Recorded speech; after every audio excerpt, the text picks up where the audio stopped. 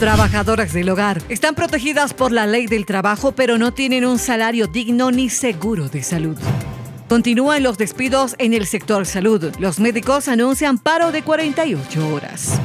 Microempresarios, artesanos y turismo rechazan cualquier incremento salarial y doble aguinaldo este 2022. Este viernes, Chile intentará convencer a los jueces que el Silal es un río compartido. Bolivia defenderá nuestro manantial desde el 4 de abril. Bolivia es el único país que incumple el acuerdo internacional sobre el uso de mercurio. Todos los seres vivos sufren las consecuencias. 84.000 abogados están habilitados para ejercer según el registro informático del Ministerio de Justicia. Este 1 de abril fenece el plazo para las postulaciones. Hoy inscribió su nombre un ciudadano no vidente.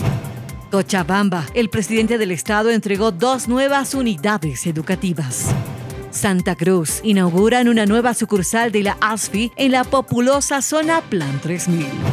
En el campo internacional, Rusia prohíbe a los líderes de la Unión Europea entrar a su territorio actividad industrial china se contrae por el impacto de la pandemia. Quédese con nosotros. Este es su noticiero popular, periodismo sin sensacionalismo.